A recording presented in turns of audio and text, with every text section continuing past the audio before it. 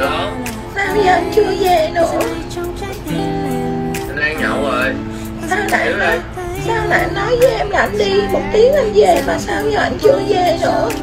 Anh có biết là Anh có biết là hôm nay là ngày trọng đại của hai đứa mà Tự nhiên anh bỏ em một mình vậy? Giờ bạn bè nó đây quá đâu rồi.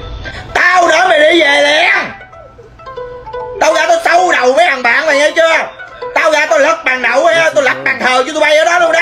Đi về đang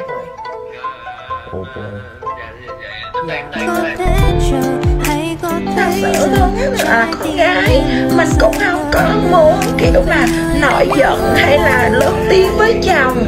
Nhưng mà thật sự là Mình phải vậy đó. Thật sự là mình phải vậy đó.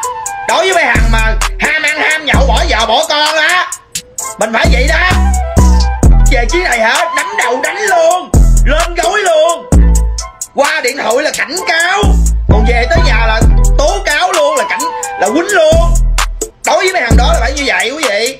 Trời ơi.